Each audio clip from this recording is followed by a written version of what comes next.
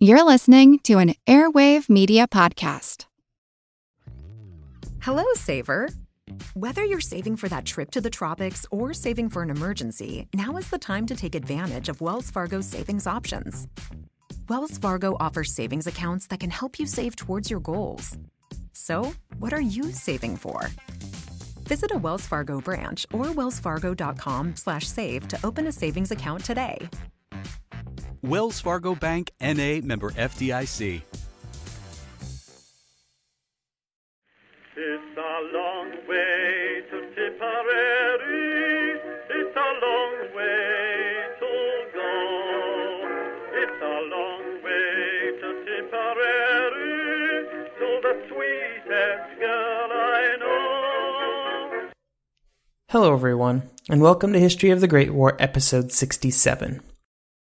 This week sees the release of what I think is a very interesting premium episode to those of you who have chosen to support the show over on Patreon. We have started a series of episodes to do a bit of a reevaluation of the role that cavalry played during the war. The British generals and their belief that cavalry would be useful during the war is often criticized. However, by first looking at the evolution of British cavalry doctrine from the middle of the 19th century and then tracing that through the First World War, the conclusions may be surprising. If that sounds like something that might interest you, you can get access to it and other premium episodes over at patreon.com slash history of the Great War. Today, the action finally begins at Verdun. We will look at the opening German attacks on the first and second days of the fighting. We will also be going into some pretty good detail about some of this fighting. And if you pick up a book about Verdun, it is often the case that a substantial amount of it will focus on just the first five days of the battle. So do not worry, we will not be hitting this level of detail for the full 300 days of fighting. The first day of fighting was all about the German bombardment, followed by the German infantry advancing into almost unmolested territory. However, due to their orders and their numbers, they found themselves held up in a few areas by French defenders. On the French side, the first day was one of disorder and disaster. The second day saw the Germans continuing to advance, in greater numbers and with deeper objectives, while the French tried to frantically find something, anything, to throw in their way. All of the action that we will discuss today was a direct result of all of the buildup that we have discussed over the previous four episodes, and it will be just the first day of many for the troops at Verdun. The weeks of horrible weather finally looked to be over on February 19th, when the skies cleared and the sun appeared. All throughout the day of the 20th, the sun shone on the battlefield, warming it up and drying it out after weeks of snow and rain. The Germans were finally able to put their plan into motion, and at 6 a.m. on the 21st, the first German guns began to fire. For the next hour and a half, more and more German batteries came online, until at 7:30 all of the German guns along the front were firing. One German officer would say that the sound was, quote, as if the horsemen of the apocalypse were riding by, In his book Verdun, The Longest Battle, Paul Jankowski discusses the strategy used by the German artillery. Quote, German artillerists were blanketing entire zones with their shells. They directed their fire not merely onto positions they wished to take, or onto lines they wished to obliterate, but into all that nature had grown and that man had erected as well, making up in density for what they lacked in precision. While for the Germans the bombardment may have sounded impressive, for the French, it was terrifying. One French officer, in charge of keeping a stretch of telephone lines intact throughout the bombardment, would later recall what happened when he would send men out to repair breaks in the line. Quote, Thousands of projectiles are flowing in all directions, some whistling, others howling, others moaning low, and all uniting in one infernal roar. From time to time, an aerial torpedo passes, making a noise like a gigantic motor car. With a tremendous thud, a giant shell burst quite close to our observation post, breaking the telephone wire and interrupting all communications with our batteries. It seems quite impossible that he should escape in the rain of shell, which exceeds anything imaginable. There has never been such a bombardment in war. Our man seems to be enveloped in explosions and shelters himself in shell craters which honeycomb the battleground. Finally, he reaches a less stormy spot, mends his wires, and then, as it would be madness to try and return, settles down in a crater and waits for the storms to pass. In the Bois where Colonel Driant and his men were stationed, one corporal would record that the artillery sounded like a storm, a hurricane, a tempest growing ever stronger, where it was raining nothing but paving stones. All along the front, the French troops were receiving the same beating. All through the morning, the shells fell. Over 12,000 per mile of front every hour. It was simply raining steel. By 8 a.m., just an hour into the bombardment, all communication with the French front lines had been obliterated, and the shelling was just getting started. In the various small wooded areas around Verdun, where many French soldiers sheltered in their trenches, tree after tree was shattered by explosions. But no sooner would it fall to the ground than it would be hit again and again, splintering it into a million pieces. Woods that had stood for centuries were destroyed, leaving nothing but splinters everywhere. At noon, the bombardment suddenly stopped. All along the front, the French soldiers came out of their hiding to prepare for the expected German attack and to look at the devastation that had been wrought. One French officer would say, The violence of the area was such that when we left our shelters, we could not recognize the countryside in which we had lived for four months.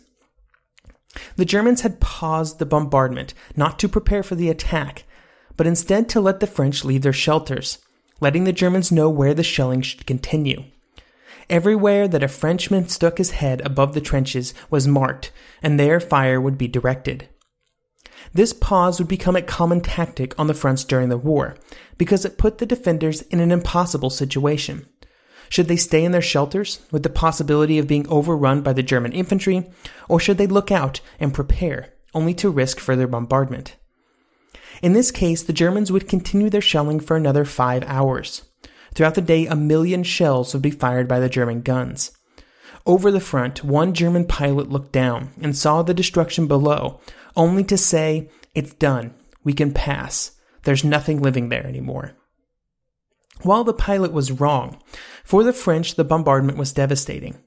There was no communication from the brigade level down, and communication between even the smallest units was nearly non existent.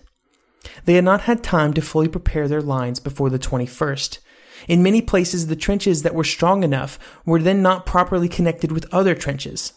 This was particularly a problem when it came to communication trenches that could have assisted in getting reinforcements to the front in the coming days. Unfortunately, they just did not exist, and instead any movement often had to be done over open ground, with shells bursting all around. A suicide run. When the fight would come, and it would come soon, most French units would find themselves cut off and surrounded almost immediately. The French guns, which should have come online to do counter battery fire at the Germans, were so overwhelmed with fire that they could do nothing. They sat out the bombardment, hoping to survive until the German guns moved and fired somewhere else, so that they could finally reply. The bombardment was lifted from the front at 5 p.m., and many German guns moved their fire deeper behind the French lines. It was now time for the German infantry to move forward and complete their conquest of the theoretically unoccupied trenches in front of them. Throughout the day on the 21st, the German infantry had heard all of the shelling, and I'm sure that they had some idea of the hell that was falling on the French soldiers that were opposite of them. Here is Alistair Horne from Price of Glory. Quote, In the Stollen, the infantry made their final preparations. Men unscrewed the spikes from their helmets so that they wouldn't get caught on any underbrush. Officers turned their caps backwards so as not to be recognized. Every man had a large scale sketch of the French line opposite him, and squads of machine gunners without their weapons were waiting to go in with the assault teams to return to service any captured French weapon. And in Verdun, the lost history, John Mosier, he, when he discusses the tactics that the Germans would use, would quote, Instead of a platoon of riflemen backed by machine gunners and artillery, the Germans put together mixed groups, specially selected infantry, combat engineers, and machine gunners.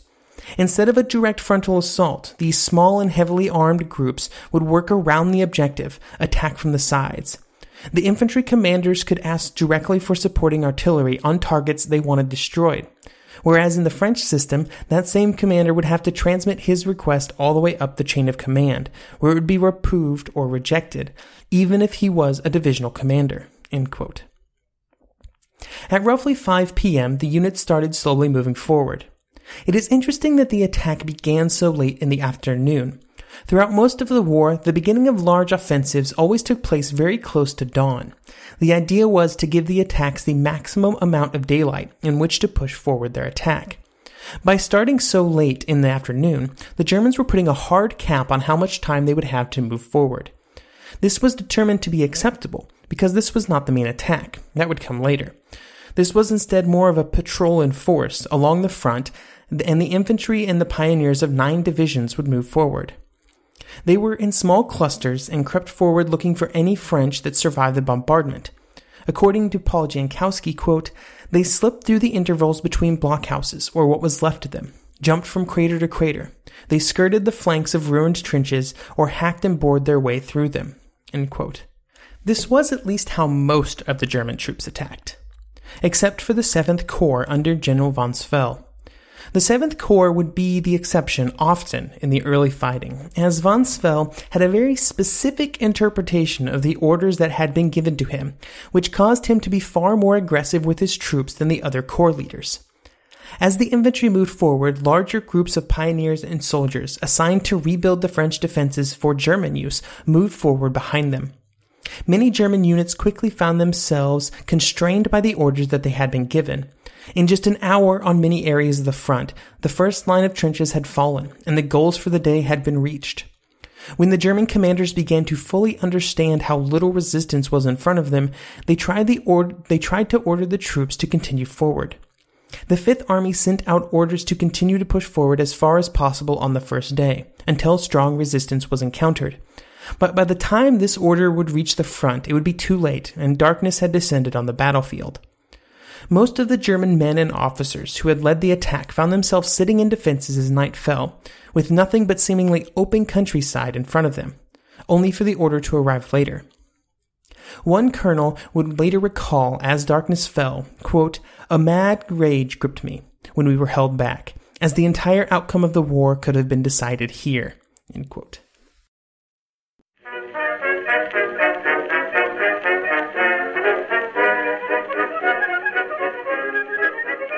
The one truth about human history is that change is inevitable. But the one thing that has never changed is that humans need food to survive. There are many ways to get that food, but one of the easiest ones is Factor. Factor delivers ready to eat meals right to your door. All you have to do is heat them up and dig in. In two minutes, you can be eating tasty keto or vegan options or any of their 35 options that they have available every week. So you can choose maybe the cheesy garden herb chicken, maybe the Santa Fe green chili beef skillet, or perhaps the Caribbean spiced tofu. It is all delicious, and if you have a bit of a sweet tooth, Factor still has you covered with a wide range of snack and smoothie options. Chocolate mocha cheesecake, snickerdoodle macaroons. Any of that sound good? And don't worry, even the tasty stuff is dietitian approved.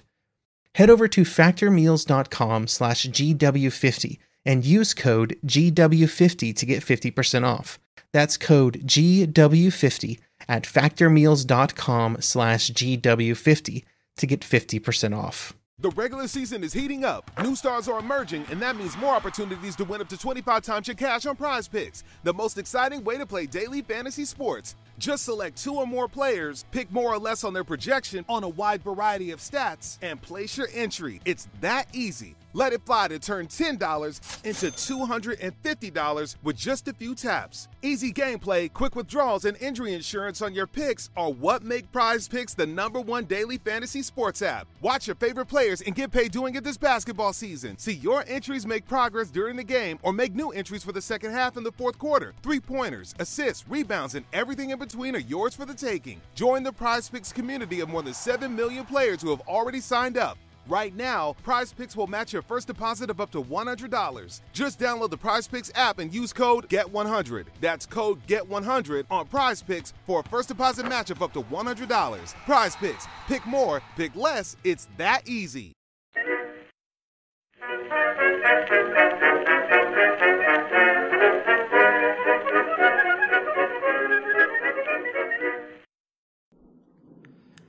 As the bombardment on the first day had lifted, of the French troops that survived, some of them had fallen back, but others had held on. It is somewhat surprising that anybody could have survived the bombardment, and the number of troops that survived varied along the front.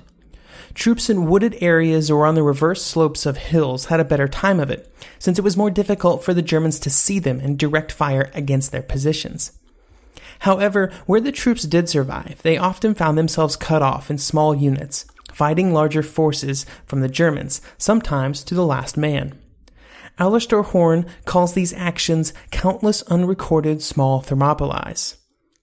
There were similar actions at various places along the front, but we will focus on the action in the Bois des Caures with our old friend Colonel Driant. The Bois des Caures was a very important position, being in the center of the French positions on the right bank. There were two battalions of chasseurs stationed there, and they had taken a beating from the bombardment. It is hard to know how many men survived this bombardment on the first day, because none of the men who survived had an accurate count.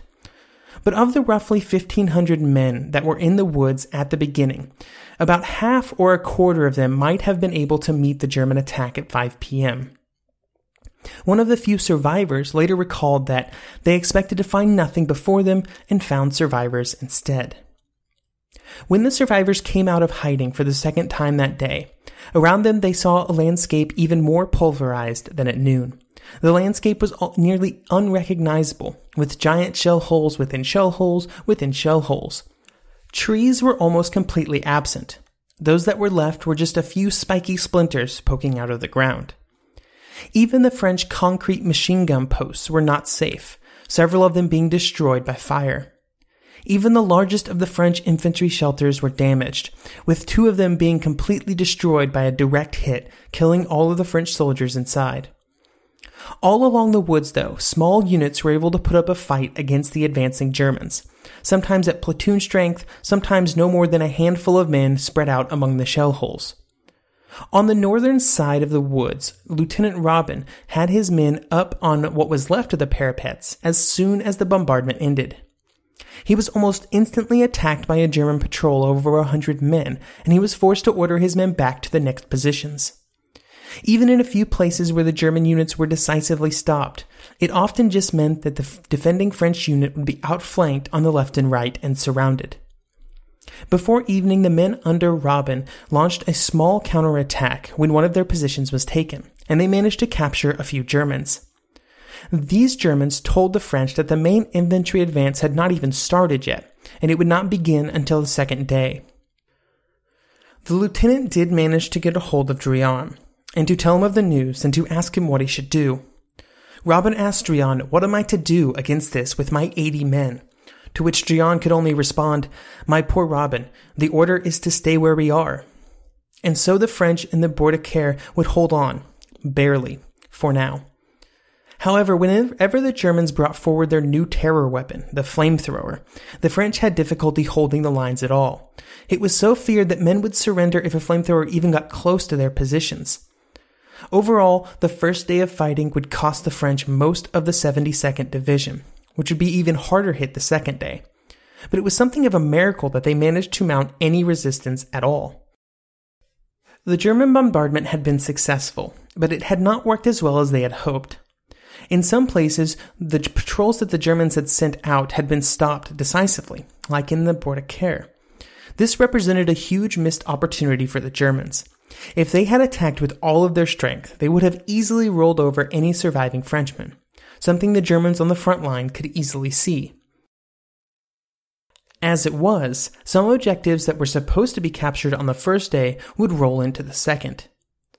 On some levels, you can almost consider the first day of fighting to be a failure for the Germans, a failure caused, for one of the few times during the war, by orders to the troops that were too conservative instead of too aggressive. One thing was an absolute truth, though.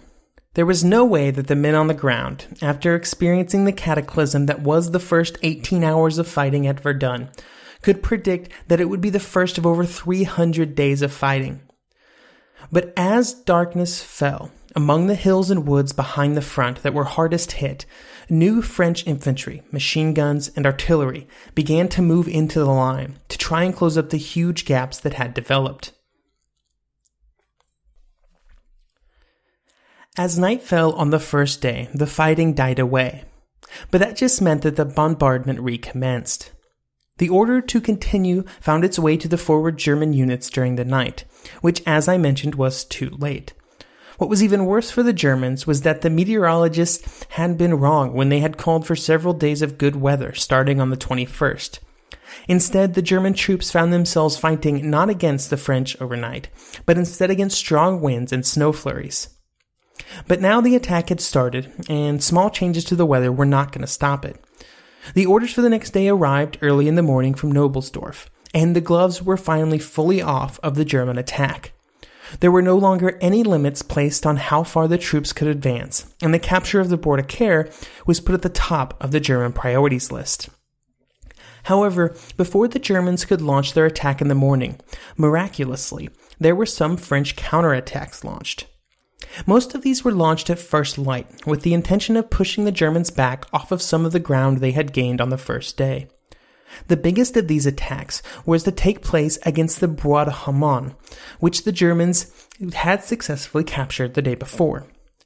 Here, the scattered French troops were mustered together at 5 a.m., only for the commanders to decide that they did not have enough men to execute their attacks, so they delayed while more troops were moved forward. First, it was delayed for just an hour until 6 a.m., and then it slipped to 8:30. More troops would continue to arrive, but it would not matter. Because just before 8:30, a German aircraft would spot the groups of Frenchmen below, and the German artillery began dumping huge amounts of artillery on the area. The attack had to be called off, but not all of the troops would receive the order in time. So on this area of the front, a few small French units tried to charge across the shattered battlefield, only to be quickly cut down. In other areas, the German attack had begun. Once again, the flamethrowers played a big role in the attacks, once again devastating French morale wherever they were used. The German troops advanced out of the Bois de Haumont towards the village of Haumont, behind a German barrage just finishing up on the French who were going to launch their attack. The Germans advanced slowly, not due to French resistance, but because they were waiting while some 420mm guns continued to pound the French troops in the town. The flamethrowers were sent in with the first waves of infantry to finish off the job. But Haumont, as dramatic as the French counterattack had been a failure, was a sideshow. The main act was taking place in the Bois des Caures, and there the German bombardment increased in intensity in, at 7 a.m. The French suffered more from the artillery on the second day than the first. Their positions, which had never been great, had deteriorated over the first 24 hours of fighting, and the five hours of bombardment on Driant's men on the 22nd of February fell among the defenses that were already almost completely worthless. Around noon, the artillery moved its fire on, and the Germans came forward to mop up what was left of the French soldiers in the Bois des Caures. The French defenders were in an impossible situation. They were surrounded on three sides, and they had fired all of their remaining rockets, vainly hoping for French artillery assistance. No help was coming, though, and they would have to fight on alone. Once the Germans came into what was left of the woods, they came under fire from isolated French units and a few machine guns that were left. This caused the Germans, who were not expecting much resistance, to bunch up and make the situation worse. With more men, the French might have actually stopped them, but they just weren't enough of them. Lieutenants Robin and Stephane were captured. Stephane would remark after the war how surprised he was at how clean and organized the Germans were behind the line. He was also impressed by the huge stacks of shells he saw by the German guns. By this point, Driant had gathered as many men as he could find, just around 80, and they held on to just one position in the woods. But soon the Germans brought up two 77mm guns and began firing at the French at point blank range. Driant had no choice but to order a retreat. The men that were left split into three groups to try and escape. Jean's group was ambushed while making their way out, and most of the men, including Driant himself, were killed. Of the 1,500 men Driant had started the battle with, a few hundred in total made it out of the woods alive and many of those were in some way wounded. They had held up the Germans, though, for almost a full second day of fighting, which was quite a feat considering the situation. Driant's body was later found by the husband of a German baroness, and it was because of this that his personal effects found their way back, in time, to his wife in France. It is these small bits of humanity like this, of a German officer sending the effects of a French officer to his wife, who then took the time to mail them through Switzerland to France, that seems so out of place on the battlefields of the First World War. But it certainly happened, and more than just this once. Near the end of the second day, some of the French artillery, mainly those guns over on the left bank, began to have an effect by hindering the Germans advancing closest to the river. Overall, the French artillery had been hit hard during the first 48 hours. When they did manage to fire, they had no spotters to direct their fire, and all they could do was fire on targets identified before the fighting started, which meant that they were little help to the infantry who were now under attack. But they were at least doing something. Often, though, as soon as the French batteries would come online and fire a few rounds, they would be targeted by German 150mm guns and destroyed. Some of the guns were moved further back to escape the advancing infantry and the worst of the shelling, but many had to be abandoned because the casualties in the horse teams that would have pulled them to safety were just gone. All along the front, the best word to describe the French situation was desperate, or maybe confused. You could probably pick whichever one you want on that one. The 72nd Division, the most critical in the fighting, was left without a commander for much of the 21st and 22nd, when the command center had to be moved twice. An example of the confusion at even the highest level of French command can be seen in the situation pertaining to the town of Brabant, an important strong point that was situated on the Meuse River. General Bapst, the commander of the 72nd, received word that it was close to being surrounded. He then sent a messenger to ask for permission from his supervisor, General Chrétien, to abandon the city to save the troops within. Chrétien did not answer immediately, and only several hours after receiving the message would he answer back, telling Bapst to do what he thought was best. By giving this order, Chrétien should have known that Bapst was going to abandon the town, which was exactly what Bapst ordered. A few hours later, when Chrétien had more reinforcements available to him, he changed his mind and sent this order to Bapst. Quote, the Brabant position should not have been evacuated without the permission of the superior command. The general commanding the 72nd Division will take measures to reoccupy Brabant. Now, while Brabant had been evacuated in time and few Frenchmen had lost their lives, there were not enough men to launch the ordered counterattack, and so the town would remain in German hands.